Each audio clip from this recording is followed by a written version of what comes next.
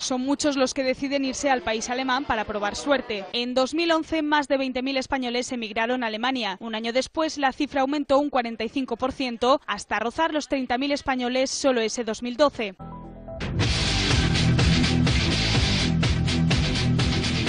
Para el mercado laboral mm, exigen tanto que tienes que hablar un idioma casi perfecto.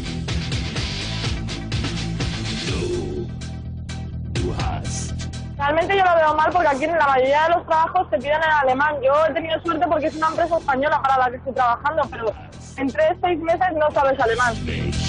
Claro, la gente que viene con cero conocimientos de idioma o muy básico lo tiene mucho más complicado. Como diría un castizo, se han pasado tres pueblos.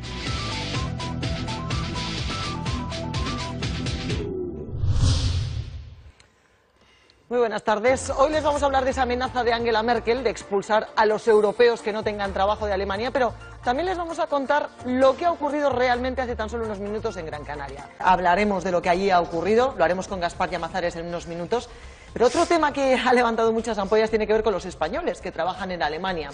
A ellos les parece un horror la medida que quiere aprobar el gobierno de Merkel que pretende echar a los europeos que no encuentren trabajo en seis meses.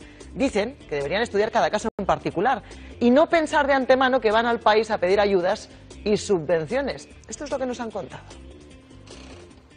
Si un extranjero no encuentra trabajo en un plazo de tres a seis meses, se tendrá que ir de Alemania, sea europeo o no. Una vergüenza, un horror y una injusticia. Es la nueva norma que planea el gobierno de Merkel para evitar lo que ellos llaman la inmigración de la pobreza. Quieren limitar la entrada masiva de búlgaros y rumanos en su país, pero la medida afectará a todos, entre ellos a nosotros, los españoles. Si en España no lo hay, ¿qué más nos da que estemos aquí, sabes? Si nos estamos buscando la vida. Estudia cada caso concretamente qué, qué persona, qué cualificación tiene, qué posibilidades. Alemania estrecha las puertas, echará fuera de sus fronteras a los que tengan pocas posibilidades de encontrar trabajo. Pero, ¿cómo medirán estas posibilidades? Para poder encontrar un trabajo en Alemania es imprescindible hablar casi perfectamente el idioma. Una tarea difícil de conseguir en menos de seis meses. No, yo voy a Alemania, pero no es alemán, pero el alemán lo aprendo trabajando. No, alemán de cero no se aprende trabajando, necesitas estudiar la gramática, que es compleja. 10.000 españoles se buscan la vida en estos momentos en el país germano. Una movilidad reducida, podríamos llamarla ahora. Para muchos españoles que se fueron de España desesperados porque no encontraban trabajo, esta medida les parece totalmente injusta.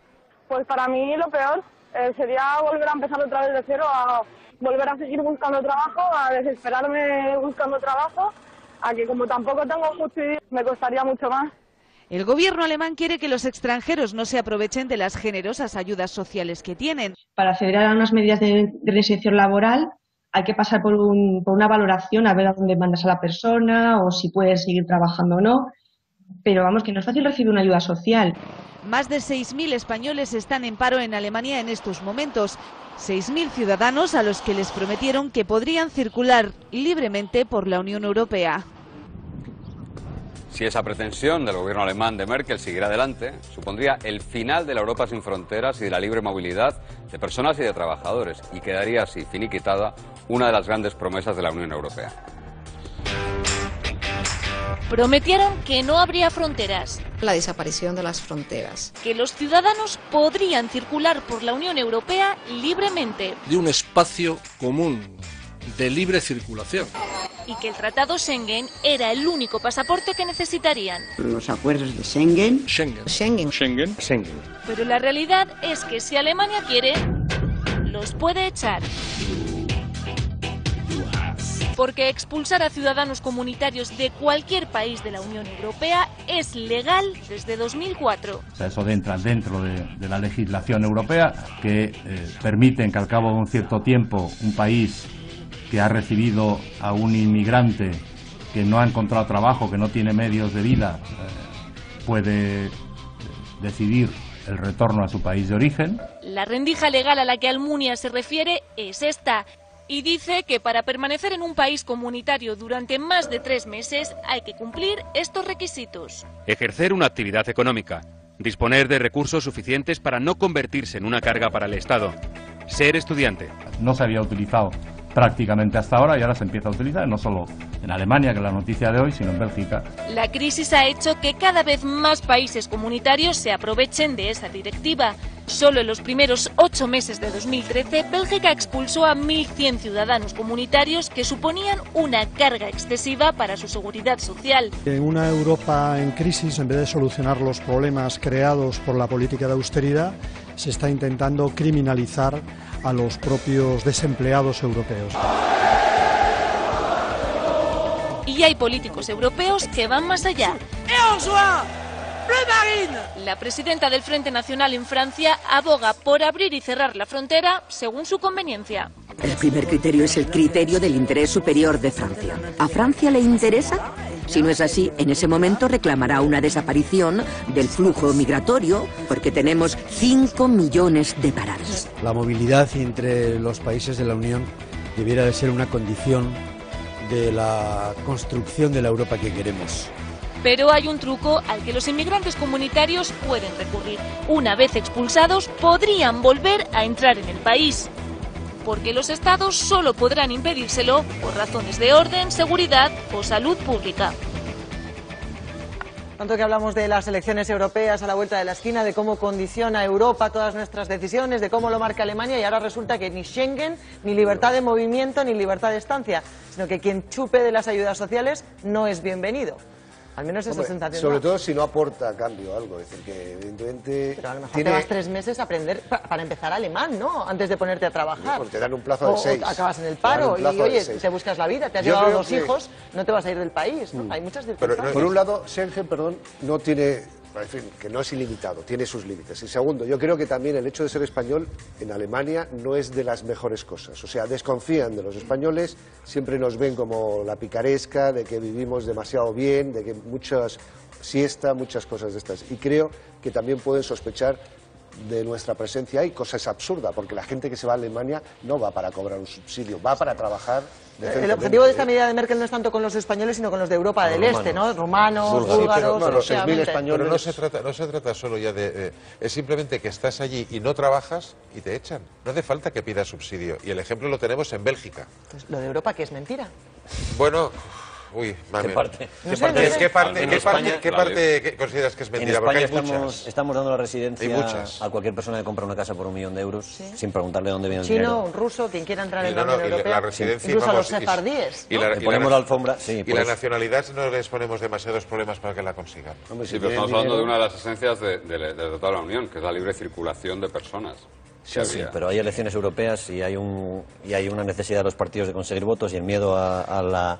A los en partidos- Inglaterra se decía el fontanero polaco, decían que iban a tener una invasión de fontaneros polacos, era mentira. Ahora en Alemania se dice que son rumanos y búlgaros que les van a invadir. En España hablaremos cualquier día de estas cosas también. Hay elecciones, y insisto, el gobierno de Alemania es de izquierda y de derecha. Es Merkel con el Partido Socialdemócrata, los dos. Y lo han firmado los dos. Pero, pero, a ver, o sea, pero no, no nos, no nos Hay engañemos. movimiento europeo, ¿eh? no las solamente leyendas Alemania, urbanas pasó en Bélgica, Sí, pasado en Suiza. sí, o sí, sea. sí. y las leyendas urbanas que hay en la sociedad. O sea, yo eh, esta mañana estaba en el médico y claro, es que todos los que son de fuera cobran más que nosotros. Y lo Todos los que son de fuera, ¿a qué te refieres? Sí, sí, no, no. O sea, bueno, estaban hablando, a la- eh, hablando en plata de árabes. Cobran más que nosotros. Si est- estás en el paro, ellos cobran más. Si estás. eh, Dices bueno, fuera de España. no, no, aquí. No, o sea, aquí la gente, la gente, los- o sea, nuestros, nuestros compatriotas, hay la sensación de que todo el que es de fuera eh, está, está La- mucho mejor, mejor tratado. que- Con lo cual, las tesis, No, pero- raci- las tesis xenófobas están cuajando en Europa. Y todos los partidos conservadores, Merkel, eh, los franceses, el, propio Cameron, eh, con el tema de la sanidad, fue el que primero el que primero recortó la sanidad a todos los de fuera, están protegiéndose des- para que no se les vayan en estas Pero- elecciones los, los, eh, Sin embargo, los los- ramalazos por la extrema derecha. Los mejores estudios de, de voto en Francia dicen que los votos de Marine Le Pen y de su padre en su momento vienen del Partido Comunista francés. Cuando se hunde el y del PCF, socialista. sí, sí. Es decir, eh, no extraen votos de la derecha, digamos, Pero es que es europea normal, o de es- es- pero, es que es normal. Es la gente, o sea, vamos a ver. eh, Sí, sí. eh, los autóctonos pueden estar pasándolo muy mal, pero los de fuera lo pasan peor. Sí, las, las, las becas comedor o cualquier ayuda se la llevan los de fuera. Esta gente se siente agredida. O sea, la- repartir No, las miserias claro. es muy dura. Está claro, Y entonces no. es- los- la- el discurso xenófobo se los lleva de calle. Yo solo quiero decir que la ultraderecha va a subir seguro en las, en las elecciones europeas y que no hay una respuesta. Europa no da respuesta a ningún No, partido. los mensajes políticos que vienen de Europa están, eh, desde luego, más encaminados a la ultraderecha o a la derecha más dura en los últimos tiempos y esto de Angela Merkel es un ejemplo clarísimo. Atención a la polémica medida antiinmigración que plantea el gobierno de Angela Merkel. Los europeos que, llevan seis, que lleven seis meses en Alemania sin trabajar serán expulsados del país. Es la respuesta del Ejecutivo alemán a la gran afluencia de inmigrantes búlgaros y rumanos desde que se abrieron las fronteras de la Unión Europea para ellos. Pero si entra en vigor, afectará a todos los europeos, españoles incluidos. Desde la oposición ya han dicho que esta norma va contra la legislación de la Unión Europea. De momento es una propuesta, pero si prospera, los emigrantes españoles en Alemania lo van a tener mucho más difícil. El gobierno de Merkel y de sus socios socialdemócratas quiere que los emigrantes de la Unión Europea que estén en Alemania trabajen o estudien. Si no lo hacen durante más de seis meses, los expulsará del país.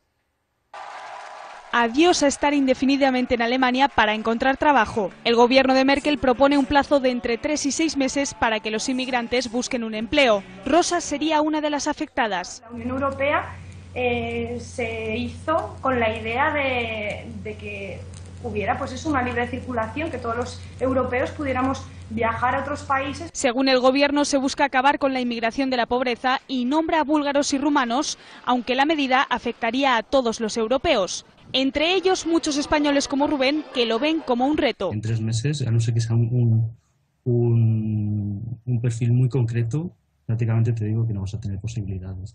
Son muchos los que deciden irse al país alemán para probar suerte. En 2011, más de 20.000 españoles emigraron a Alemania. Un año después, la cifra aumentó un 45% hasta rozar los 30.000 españoles solo ese 2012. Aunque las estadísticas nos muestran que hay muchos que acaban volviendo. Ahora se le está dando la espalda ese tratado con una medida legal, sí, pero no deja de vulnerar el derecho de todos los europeos. En 2013 Bélgica expulsó a 323 españoles. El gobierno lo lamentó, pero reconoció que era legal. Por tanto, es una decisión legal, aunque no nos guste, y es una decisión que la Comisión Europea ha avalado posteriormente con sus declaraciones. Si prospera, la propuesta alemana hará más difícil la vida de los inmigrantes europeos sin salir de la que debería ser su patria común.